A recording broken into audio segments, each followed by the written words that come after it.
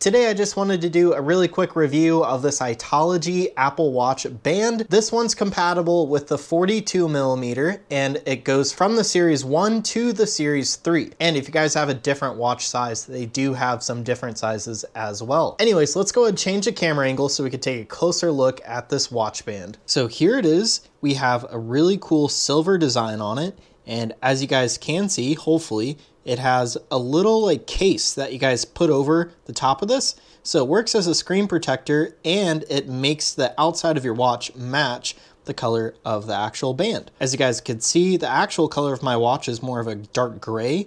So this really helps make this match and overall gives it a very clean look. I still have access to all my buttons and there's still the button right here.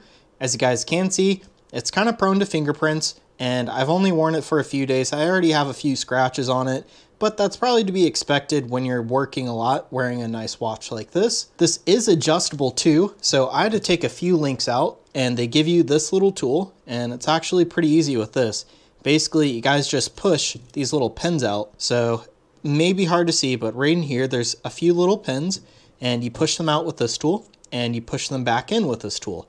So they make it pretty easy. So right here, you can see a few of the links that I took out to go ahead and make this fit a little better. And overall, it took me about 10, 15 minutes. They give us some extra parts and all that too. And this little piece does come out. So if you ever bend this, they give you uh, some more replacements. So that's what these are in the bag because sometimes these little guys do bend and it makes it harder to take links off your watch. So the watch just kind of uses a standard like snap right there. So it fits really good now.